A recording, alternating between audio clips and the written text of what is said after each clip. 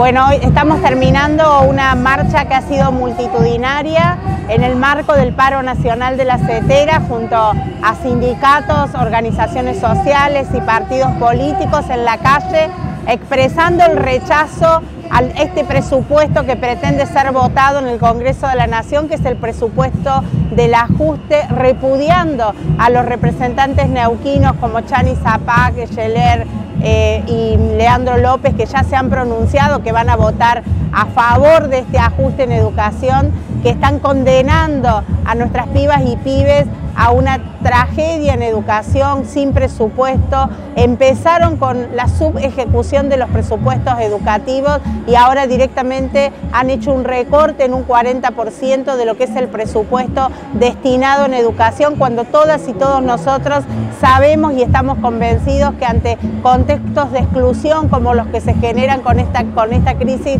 que estamos viviendo, debe designarse más presupuesto educativo y no un recorte como estamos, estamos padeciendo en este momento. Así que en la calle, en la calle como avisoramos que va a ser eh, el futuro nuestro, digo, cada vez más presentes en la calle, cada vez con mayor unidad, tenemos esa tarea, nadie se salva solo ante un contexto de tanto ajuste y la respuesta hoy la dimos en la calle. Las y los trabajadores de la educación en el, par, en el marco del paro nacional de la CETERA junto a todas las organizaciones haciendo una amplia convocatoria a la unidad para resistir el ajuste.